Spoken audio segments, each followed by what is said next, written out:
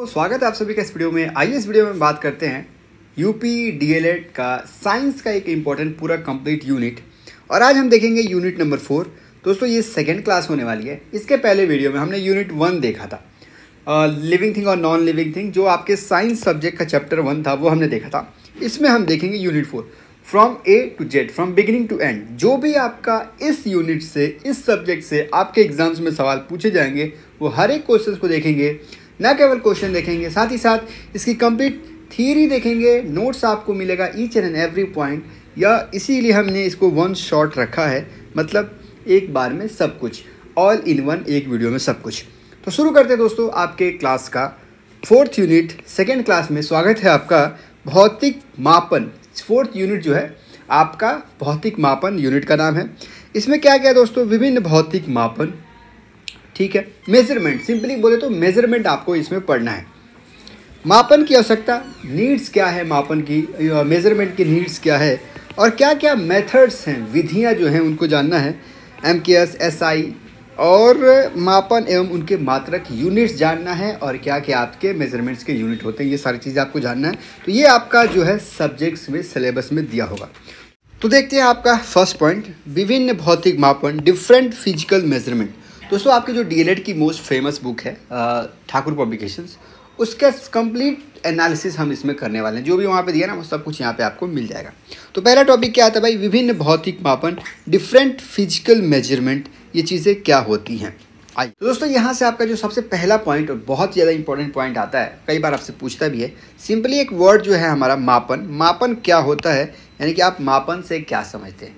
तो मापन क्या है? जैसे आपको बता दूँ, देखो मापन में हम करते क्या है? जैसे मान लो आपको मेरी हाइट नापनी हो तो आप मेरी हाइट मेज़रमेंट करेंगे और बताएँगे five feet and this much of inches आप किसी चीज़ को वेट करेंगे तो इतना के वास्तव में आप करते क्या हैं? किसी भी परिणाम, किसी भी परिमाण, किसी भी रिज़ल्ट को आप नंबर्स में डोनेट करते हैं। मतलब किसी भी भौतिक राशि के परिमाण को संख्या में व्यक्त करना मापन कहलाता है। ठीक है? जैसे मैं आपसे पूछूँ कि आपको कितना बुखार है? तो आप क्या बताओगे? कि गर्म है, इतना कैसे बताओगे? बता, एक संख्या बता दो कि ऐसा है, मुझे 101 डिग्री की बुखार है। डॉक्टर कहेगा इट्स ओके आप कहोगे 106 डॉक्टर कहेगा से तो आप क्या करते हो? किसी भी भौतिक राशि को आप संख्या में बता देते हो तो वही क्या कहलाता है? मापन कहलाता है मेज़रमेंट कहलाता है। अब ये प्रक्रिया होती कैसी है? देखिए मूलतः तुलना करने की एक प्रक्रिया है मापन। इसमें किसी भौतिक राशि की मात्रा की तुलना पूर्व निर्धारित मात्रा से की जाती है। पूर्व निर्धारित के मतलब मतलब जैसे मान लीजिए, पहले से ही एक स्टैंडर्ड स्टैंडर्ड हमें बताया गया है स्टैंडर्डाइज एक हमारे पास मेज़रमेंट है कि ये डिस्टेंस को हम एक मीटर कहते हैं। वो पहले से तय है, ठीक है? अब उस एक मीटर के डिस्टेंस से हम तुलना करेंगे, जिस भी भौतिक राशि को मापना हो, कि उस एक मीटर के डिस्टेंस से आपकी दी गई राशि कितनी लंबी है? क्या एक मीटर से ज़्यादा है? तो कितना ज़्यादा है? कम है तो कितना ज़्यादा? जो एक मीटर का डिस्टेंस है, जो एक के का वेट है, जो एक सेकेंड का समय है ना, ये पहले से निर्धारित है कि हम इतनी देर को एक सेकेंड कहते हैं। अब इसी से हम तुलना करते हैं कि वो भौतिक राशि जिसको आपको मापना है, मान लो मेरी हाइट नापनी है तो पहले से निर्धारित है कि इतनी की दूरी को हम एक फिट कहते हैं, ठीक है? अब उस फिट से आप नापेंगे कि वास्तव में मेरी टोटल कितनी लंबाई है। समझ में आ गई बात? तो वास्तव में क्या है मापन? तुलना करने की एक प्रक्रिया है। इसमें किसी भौतिक राशि की मात्रा की तुलना पूर्व निर्धारित मात्रा से की जाती है। इसी पूर्व निर्धारित मात्रा को उस राशि विशेष के लिए मात्रक कहा जाता है। उस जो पहले से निर्धारित उसको मात्रक होता है, जैसे मीटर के जी सेकेंड ये मात्रक होता है। आगे देखते जाएँगे, पूरा समझ में आएगा। उदाहरण के लिए, जब हम कहते हैं कि किसी पेड़ की ऊंचाई दस मीटर है तो हम उस पेड़ की ऊंचाई की तुलना मीटर से कर रहे हैं। मीटर दस मीटर का मतलब आप एक मीटर से दस बार उसको नापेंगे, या फिर उस पेड़ को अगर आप दस इक्वल पार्ट करेंगे तो वो एक मीटर होगा। समझ में आगे बात? तो मीटर से हम, मीटर जो कि पूर्व निर्धारित है उससे हम, उसकी तुलना करते हैं। तो मापन क्या है भाई? मापन किसी भौतिक राशि के परिमाण का संख्या में प्रदर्शन है, संख्या में व्यक्त करने की विधि है। मापन वास्तव में तुलना करने की प्रक्रिया है और तुलना हम किससे करते हैं? पूर्व निर्धारित एक मापन से, पूर्व निर्धारित एक मात्रा से हम क्या करते हैं? उसकी तुलना करते हैं। चलिए, अब बात करते हैं कि भौतिक मापन की आवश्यकता क्या है। जनरली किताबी भाषा हम नहीं जानेंगे। जनरली हम समझेंगे जैसा मैंने आपको शुरू में बताया, बुखार वाला एग्ज़ाम्पल तो आपके स्वास्थ्य संबंधित, जैसे मान लीजिए आप किसी डॉक्टर को बताएँगे कि बुखार तो कैसे बताएँगे? डॉक्टर आपको कैसे बताए? डॉक्टर कैसे चेक करेगा? तो भाई, स्वास्थ्य के निदान और उपचार की सुरक्षा को प्रभावित और सुनिश्चित करने के लिए, ठीक है? इसके अलावा घरों में ऊर्जा, मूल्य, गैस की मात्रा, ये सारी चीज़ों के लिए मापन कीजिए। कितना गैस से आपको क्वांटिटी यूज़ करना है, कितनी बिजली यूज़ करनी है, इन सारी चीज़ों में मापन की आवश्यकता पड़ती है कि हमने इतना किलो आज एनर्जी यूज़ करी, हमें इतने, इतना गैस चाहिए तो यहाँ पर इस्तेमाल होता है। उड़ान में, विमान के सुरक्षित संचालन में, अब जैसे मान लो गाड़ी विमान उड़ रहा है उसे कितना लीटर पेट्रोल चाहिए, उसे कितने स्पीड से जाना है, किस डायरेक्शन में जाना है, यहाँ पे हेल्प करता है मापन। अंतर्राष्ट्रीय समय मानकों की स्थिरता सुनिश्चित करने के लिए पूरी दुनिया में विश्वसनीय तरीके से संवाद कर सके। अब मान लो आपको कोई चीज़ किसी को देनी हो लेट सपोज़ हमें, हमारे कंट्री में पेट्रोल आ रहा है या कोई भी पेट्रोलियम पदार्थ आ रहा है तो वो किस मात्रा में देंगे? मान लो उनकी क्वांटिटी कुछ अलग हो, हमारी क्वांटिटी कुछ अलग हो तो वो वो फिर मैच नहीं हो पाएगा। तो इसके लिए भी हमें ज़रूरत पड़ती है जलवायु परिवर्तन को समझने, कम करने और ग्रीन हाउस गैसों के उत्सर्जन को मापना। ठीक है, पर्यावरण कितना बढ़ा, कितना घटा तो इन सारी चीज़ों को खाद आपूर्ति की सुरक्षा और सुनिश्चित करने के लिए बाज़ारों में खरीदारी खरीद और विक्रेता के बीच एक निष्पक्ष बना रहे दोस्तों, निष्पक्षता सुनिश्चित रहे, इसके लिए भी हमें मापन की ज़रूरत होती है। मापन बस यूँ समझिए कि किसी भी भौतिक राशि का सही आंकड़ा जानने के लिए मापन की आवश्यकता होती है मेज़रमेंट की आवश्यकता होती है। ठीक है, बहुत सही। अब यहाँ से आपका मेन पॉइंट शुरू होता है कि भौतिक मापन की विधियाँ methods of physical measurement method क्या क्या है? कितने तरीके से मापा जा सकता है? तीन मुख्य तरीके हैं दोस्तों। कौन कौन सा? पहला सी जी एस पद्धति एफ़ पी एस पद्धति और एक है एम के एस पद्धति, ठीक है? सी जी एस पद्धति में, जैसे देखो, एक सिंपल सी बात। आपको पता है गाँव में, जैसे मेरे गाँव में खेतों को कैसे? कट्ठा, बिस्सा बीघा ऐसे कह के संबोधित करते हैं। वहीं आप शहरों में आएँगे तो स्क्वायर मीटर इतना स्क्वायर फीट इतना स्क्वायर मीटर स्क्वायर फीट से संबंधित। तो ये सारी चीज़ें, आप अंतर्राष्ट्रीय स्तर पे आएँगे तो तीन तरीके के, जैसे पहला है भाई सी G S C G S का मतलब सेंटीमीटर ग्राम और सेकेंड आप किसी चीज़ को सेंटीमीटर में बता सकते हैं कि हाँ इसकी डिस्टेंस इसकी लंबाई सेंटीमीटर में। किसी वेट को ग्राम में बता सकते हैं और टाइम को सेकेंड में बता सकते हैं, ठीक है? इसके पहले आपको पता है, समय को पहर, एक पहर, दो पहर, अंतिम पहर, इस तरीके से भी बताया जा सकता है। अभी सेकंड में बताया जाता है। दूसरा है दोस्तों F P S foot pound और सेकंड एक ये भी प्रणाली है, आप दूरी को फुट में बता सकते हैं, वज़न को पाउंड में बता सकते हैं और समय को सेकंड में बता सकते हैं। देखिए, जो फुट पाउंड और सेकंड है ना, इसे ब्रिटिश पद्धति भी कहते हैं, ठीक है? और सी पद्धति को फ्रेंच पद्धति भी कहते हैं या मैट्रिक पद्धति भी कहते हैं। तो ये भी आपको ध्यान रखना पड़ेगा। एक और है दोस्तों एम के एस पद्धति एम मीटर किलोग्राम सेकेंड मतलब लेंथ को आप मीटर में नापेंगे, वेट को किलोग्राम में और सेकेंड को सेकेंड में नापेंगे, ठीक है? अब ये तीन तरह की पद्धति, अब एक स्टैंडर्ड है जो पूरी दुनिया में एक समान होता है, उस पर हम मानते हैं। वो है दोस्तों, अंतर्राष्ट्रीय पद्धति इंटरनेशनल सिस्टम ऑफ़ यूनिट जिसे एसआई यूनिट कहते हैं। पूरी दुनिया इसको मानती है। वो क्या है भाई? एसआई यूनिट क्या है? 1960 ईस्वी में अंतर्राष्ट्रीय माप तौल के अधिनियम में एसआई को स्वीकार किया गया, जिसका पूरा नाम डिस सिस्टम इंटरनेशनल डिस यूनिट्स है। इस पद्धति में साल सात मूल मात्रक है और सात और दो संपूरक मात्रक है। सात राशियाँ और दो दो संपूरक राशियाँ हैं। अब यहाँ पे ये पूरी दुनिया इसको मानेगी। क्या क्या मानेगी भाई? जो सात मूल मात्रक है दोस्तों जो सात मूल जो फंडामेंटल यूनिट्स है वो क्या है? पहला है हमारा डिस्टेंस लंबाई जिसे एल से डोनेट करते हैं और जिसका मात्रक यानी कि जिसकी यूनिट होती है यू, आ, आ, मीटर ठीक है? तो पूरी दुनिया दोस्तों लंबाई को मीटर में नापती है, मीटर में संबोधित करती है, ठीक है? ये ऐसा यूनिट मान गई। मास को दोस्तों द्रव्यमान को हम किसमें मानेंगे? किलोग्राम में मानेंगे। समय टाइम को हम सेकेंड में मानेंगे। विद्युत धारा को एम्पियर में मानेंगे। और तापमान को दोस्तों कैलविन में मानेंगे। पदार्थ की मात्रा को मोल में मानेंगे। और ज्योति तीव्रता को कैंडला में मानेंगे। तो ये जो सात है दोस्तों, इसको याद रखिएगा। कई बार सवाल पूछा है, एक बार फिर से आपसे पूछने की संभावना है कि टोटल हमारे पास कितनी मूल राशियाँ हैं? फंडामेंटल्स मेज़रमेंट और फंडामेंटल्स यूनिट्स हमारे पास कितना है? ठीक है? मूल राशियाँ हमारे पास कितने हैं दोस्तों? सात है। कितने सात है। ठीक है? ओके अब आइए। दो, जो दो कॉम्प्लीमेंट्री यूनिट्स हैं, जो पूरक मात्रक हैं, वो कौन कौन से हैं? एक समतल कोण, एक घन कोण। समतल कोण का रेडियन और स्टे रेडियन घन कोण का। तो यहाँ पे उतना सवाल नहीं बनता जनरली बन जाता कभी कभी लेकिन जो यहाँ से आपका सवाल है, वो हमेशा एक बार बनता है कि आपके टोटल कितनी राशियाँ हैं, कितने मात्रक हैं। और याद रखिएगा, इसको हम मूल राशि कहेंगे, और इसको हम मूल मात्रक कहेंगे। यहाँ से एक सवाल बनेगा। मैं आइए ज़रा एक सवाल आपको दिखाता हूँ। अब यहाँ से आपसे सवाल पूछा, निम्नलिखित में से कौन मूल मात्रक नहीं है? कौन मूल मात्रक नहीं है? सेकेंड है, न्यूटन नहीं है, कि किलोग्राम किलोग्राम भी है ठीक है? और कैंडिला भी है। तो कौन नहीं है दोस्तों? न्यूटन नहीं है। समझ में आ गई बात? यहाँ से सवाल आपको ऐसे बन जाएगा। एक और सवाल देख लीजिए। भौतिक मापन की विधि है। सी जी एस मैंने बताया हाँ है। एम के एस ये भी है। ए और बी दोनों हो जाएँगे। ठीक है? तो इस तरीके से आपसे सवाल बनेंगे। कुछ और सवाल देख लें। एस आई का मूल मात्रक होते हैं। कितने मूल मात्रक होते हैं? सात, पाँच छः आठ। कितने होते हैं? बताइए। आप कहोगे सात। इसी तरीके से सवाल आपसे बनते हैं। तो जो मैंने बताया ना वो बहुत अब यहाँ पे आइए थर्मा अब इसको यहाँ पे रहने दीजिए इसको आगे पढ़ेंगे। ये एक सवाल और देख लीजिए यहाँ पे। हाँ। एम के एस पद्धति का मूल मात्रक है। एम के एस याद एम के एस का मतलब मूल मात्रक देखिएगा। मात्रक कौन सा है भैया? मात्रक। लंबाई द्रव्यमान ए बी दोनों इनमें से कोई नहीं। क्या सही जवाब होगा बताइए? क्या सही जवाब होगा? ये जो लंबाई और द्रव्यमान है जो मास और लेंथ है ये इसके मात्रक नहीं है। ये इसके राशि। मात्रक क्या होगा? मात्रक होगा मीटर और द्रव्यमान केजी। मीटर और किलोग्राम इसके यूनिट्स होते हैं। ये इसका यूनिट नहीं। ठीक है यूनिट यूनिट हाँ। तो यूनिट जो होता है वो मीटर होगा और के ग्राम होगा। तो वो है नहीं यहाँ पे। तो इसका सही जवाब हो जाएगा। इनमें से कोई नहीं। ठीक है? अभी जब पूरा पढ़ेंगे तो और समझ में आएगा। समझ में आ रहा है कि नहीं आ रहा है? यहाँ पे आपसे यूनिट पूछ रहा है और इसमें कोई यूनिट नहीं है। ठीक है? चलिए हम कहाँ थे? हम थे यहाँ पे। हाँ। तो ये हमारा जो है भाई, मूल राशि हो गई, ये हमारा यूनिट मैन की मात्रक हो गया। ठीक है? चलिए। तो फंडामेंटल यूनिट्स यानी कि मूल मात्रक सात थे, ठीक है? अब एक और आता है दोस्तों ड्राइव्ड यूनिट्स मतलब व्युत्पन्न मात्रक। अब जो व्युत्पन्न, जो ड्राइव है ना, वो मूल मात्रक से बना होगा। जैसे अगर आपको कोई लेंथ नापना हो तो आपने मीटर में नाप लिया। लेकिन अगर आपको एरिया नापना हो तो आप एरिया को मीटर स्क्वायर में नापेंगे। ठीक है? इसी तरीके से स्पीड नापना हो तो स्पीड आप मानेंगे मीटर पर सेकेंड इसमें आपने दो फंडामेंटल यूनिट्स यानी कि दो मूल मात्रक का इस्तेमाल किया।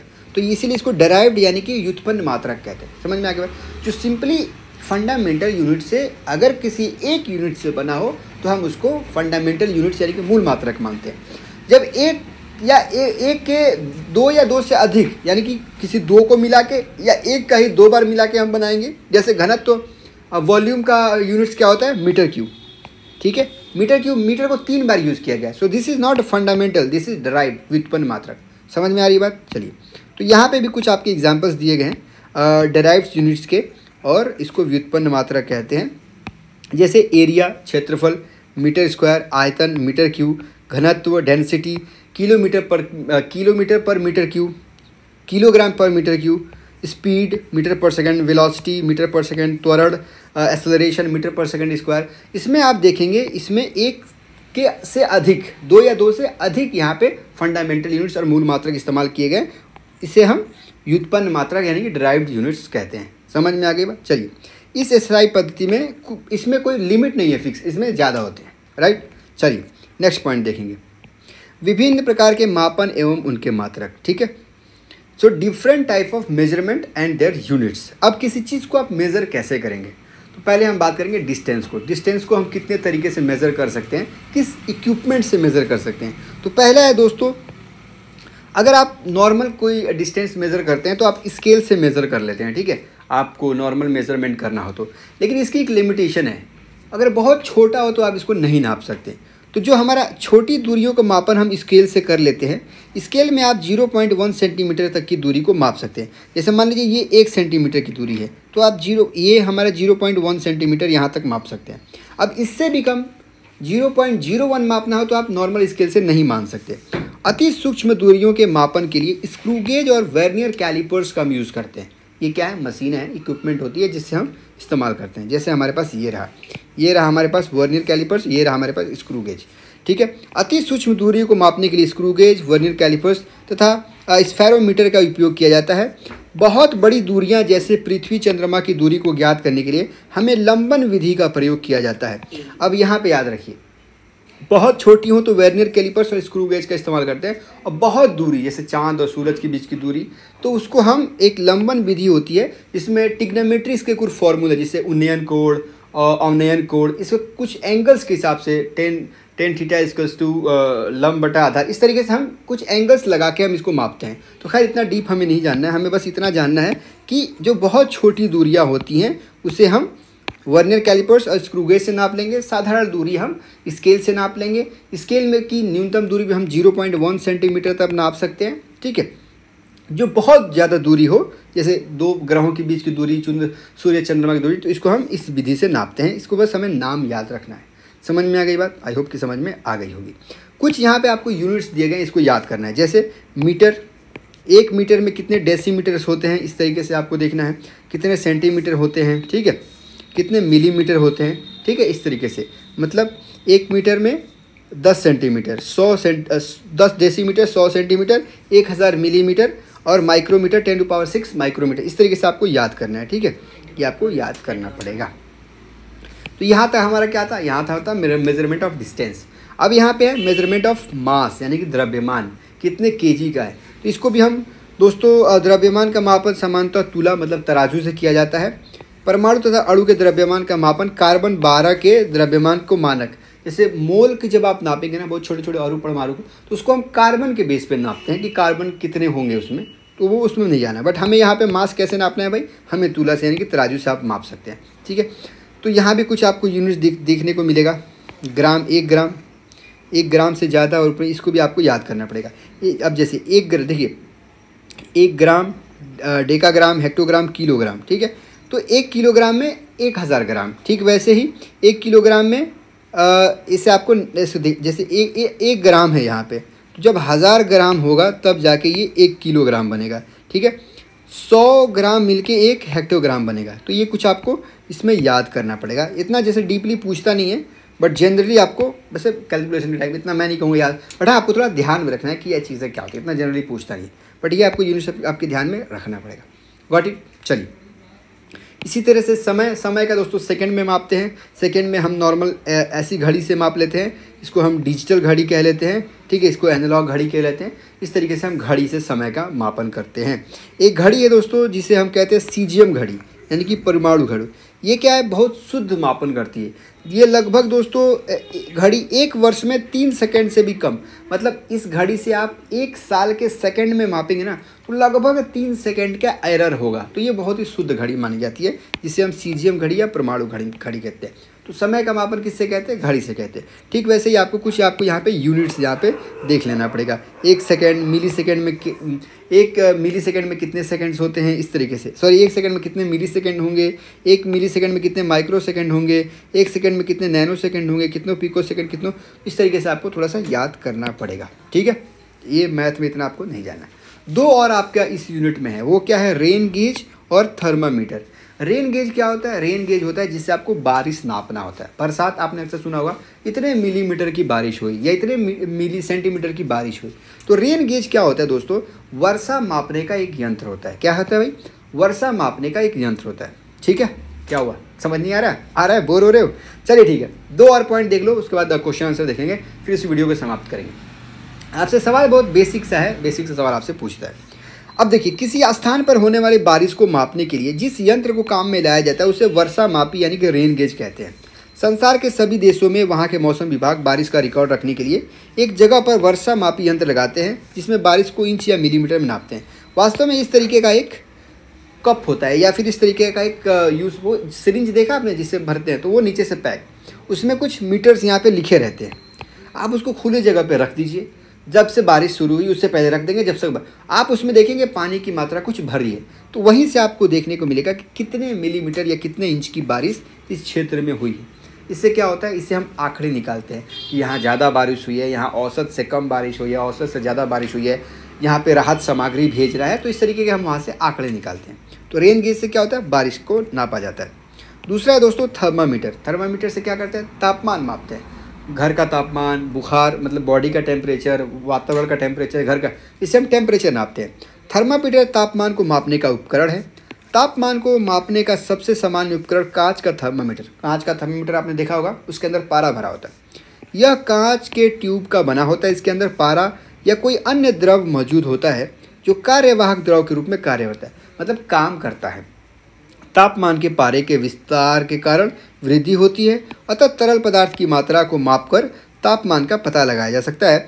सबसे पहले दोस्तों, आविष्कार अठारह शताब्दी में तापमान को सेल्सियस में इसमें अठारहवीं शताब्दी में हुआ था इसका, ठीक है? आविष्कारक कौन थे, अभी बताता हूँ। सेल्सियस और कैलविन और फ़ारेनहाइट में इसको नापा जाता है। ये थर्मामीटर का आविष्कार किसने किया था, इसके बारे में जान जाइए। गैलीलियो को माना जाता है दोस्तों, कि गैलीलियो ने 1593 में इसका आविष्कार किया था। लेकिन जो पारे वाला जो था, पारा वाला जो थर्मामीटर है, उसका आविष्कार सत्रह सौ चौदह ईस्वी में गैब्रियल फेरनहाइट ने किया था, ठीक है? तो गैब्रियल फेरनहाइट ने पहले पारा थर्मामीटर का, आधुनिक थर्मामीटर का आविष्कार किया था। तो ये दो भी कई बार आपसे पूछता है तो इसको भी आपको क्या करना है, याद रखना है। चल, दो तरीके के थर्मामीटर दोस्तों, पुराने ज़माने में तो ऐसे होता था, जहाँ पे ये पारा जितना ऊपर जाएगा, हमें तापमान का पता लगता था, और आजकल डिजिटल थर्मामीटर आ गया, ठीक है? तो हमें यहाँ से पता चल जाता है। इसको एनालॉग थर्मामीटर इसको डिजिटल थर्मामीटर कहते हैं। वास्तव में दोस्तों, यही आपका कंप्लीट यूनिट है। इसमें आपको क्या क्या जानना है? मापन आपने समझ लिया। आपके मूल राशि, मूल मात्रक क्या होते हैं, आपने ये समझ लिया। डिस्टेंस का मान कैसे निकालते हैं? डिस्टेंस के मापन कैसे करते हैं?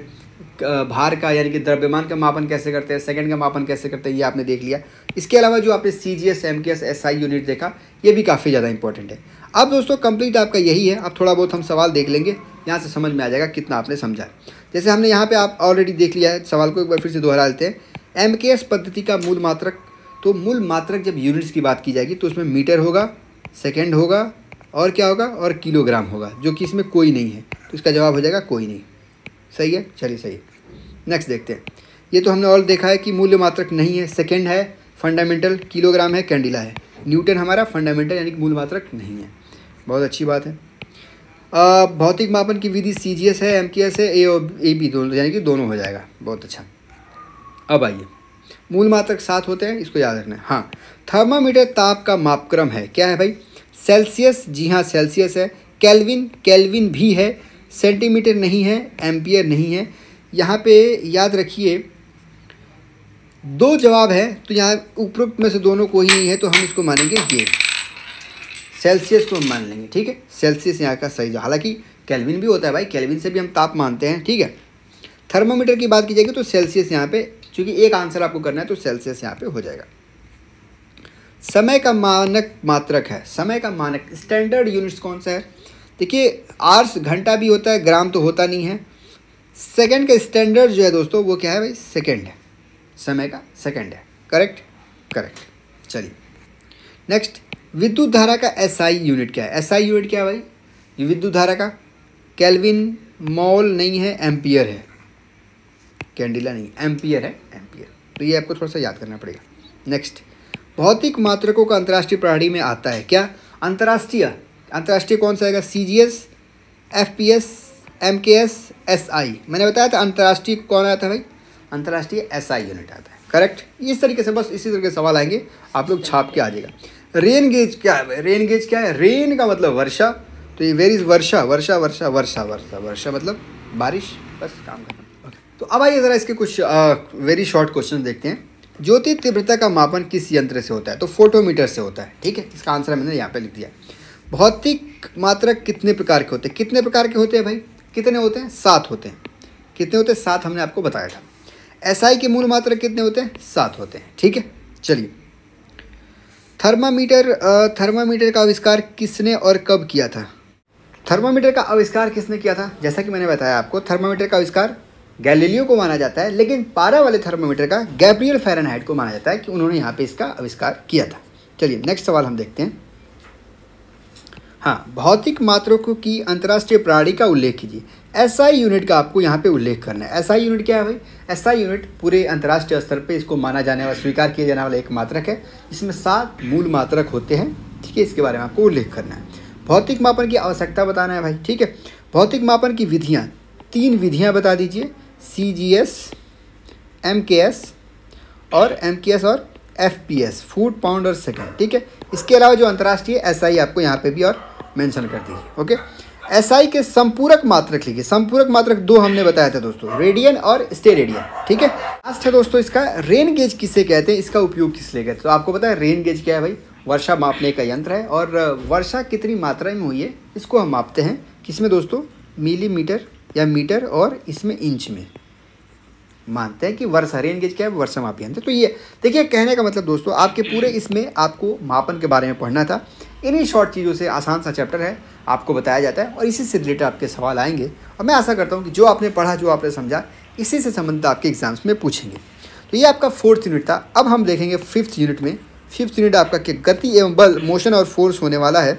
गति एवं बल मोशन और फोर्स आपका फिफ्थ यूनिट होने वाला है, जो कि हम क्लास थ्री में, अगले क्लास में देखेंगे। ठीक है? तो इस वीडियो में फ़िलहाल इतना ही। इस वीडियो में हमने देखा भौतिक मापन, यानी कि फ़िज़िकल क्वांटिटी का मेज़रमेंट हमने देखा। और अगले वीडियो में हम देखेंगे फोर्स और आपके मोशंस के बारे में, ठीक है? फ़िज़िकल मेज़रमेंट हमने यहाँ से इस वीडियो में देख लिया। तो चलिए बस, इस वीडियो में फ़िलहाल इतना ही। मुझे अच्छा लगा ये वीडियो बना के। मैं आशा करता हूँ समझ आया होगा। देखिए लास्ट टाइम पर एक बार आप पूरे चैप्टर से गो थ्रू हो जाएँगे। एक बार पूरे चैप्टर को आप देख लेंगे तो समझ में आ जाएगा किस तरीके से सवाल आपसे पूछा जाता है। एक बार कम से कम आपको रिवाइज हो जाएगा। ये आपके सिलेबस में इसलिए रखा जाता है क्योंकि कल को आप जब टीचर बनेंगे तो आपसे बच्चे सवाल पूछ सकते हैं, आपको बच्चों को क्या रिप्लाई करना है और ये सारी चीज़ें आपने ग्रेजुएशन लेवल पर या उससे पहले भी पढ़ रखा होगा तो बस एक बार दोबारा आपको याद हो जाए ताकि आपको बच्चों को कल जाके यही पढ़ाना है। तो बस इस वीडियो में फ़िलहाल इतना ही। अगर समझ में आई हो तो लाइक कर दीजिएगा, कमेंट में अपनी राय प्रतिक्रिया दीजिएगा और हाँ खास बात यह है कि आपके मैथ्स के भी वीडियोज़ आएँगे अभी साइंस का कंप्लीट हो जाए। दो वीडियो हो गई, तीन से चार वीडियो में खत, ख़त्म हो जाएगा साइंस। उसके बाद हम मैथ्स के वीडियो को भी देखेंगे। तो बस, इस वीडियो में फ़िलहाल इतना ही। बहुत बहुत शुक्रिया। पसंद आई हो, लाइक करें। नहीं जुड़े चैनल सब्सक्राइब करके जुड़े जुड़ जाए। कमेंट में अपनी राय, प्रतिक्रिया देना ना भूलें। पढ़ते रहिए, आगे बढ़ते रहिए। जय हिंद, जय भारत।